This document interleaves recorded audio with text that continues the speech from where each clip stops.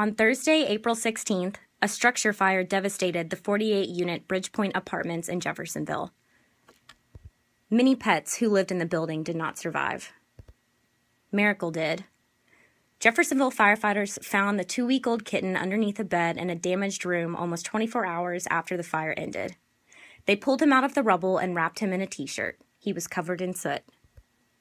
Miracle is being bottle fed every three hours and is doing well. He just opened his eyes. JB Ogle Animal Shelter is still trying to reach his owner.